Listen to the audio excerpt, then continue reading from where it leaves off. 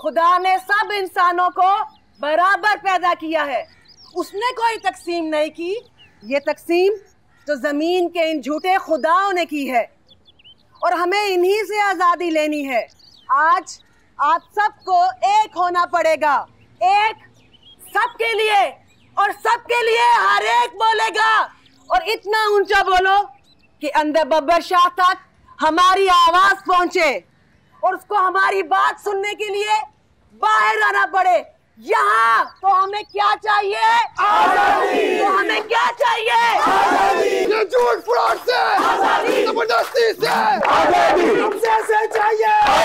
मसले से चाहिए। इस भूख प्यास से। आज़ादी। एक मिनट एक मिनट। अम्मा को चाहिए। आज़ादी। क्योंकि Macrino.